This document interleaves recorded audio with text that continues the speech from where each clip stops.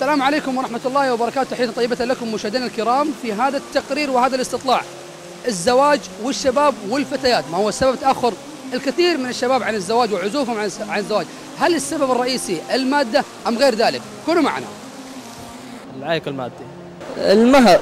العائق المادي شيء أساسي. آه العائق المادي أول شيء بعدين يكون نفسه في البداية. الظروف المادية أو- أقوى شيء. أكيد. العائق الوحيد المادي. ممكن يكون يعني تاخذ دراسة السنة اللي خارج دراسته ماجستير أي شيء بعدين تتزوج. مو مو سبب يعني رئيسي المادي غلاء المهور سبب رئيسي في الموضوع يعني. وتكاليف الزواج يعني من ناحية البيت من ناحيه يعني الواحد آه، يلا يلحق على المهر. وبعدين يعني برضو على تكاليف البيت وتكوين الأسرة ويعني شغلات كثيرة يعني مترابطة في بعض يعني. غلاء المهور آه، غلاء المعيشة آه، كمان شروط بعض الأوقات الأهل إنه يكون توفر سكن. أهم شيء السكن والإيجار.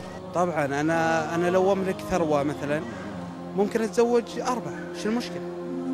العائق المادي هو اللي يعني تقريبا 90% من الشباب العائق المادي هو سبب تاخرهم في الزواج.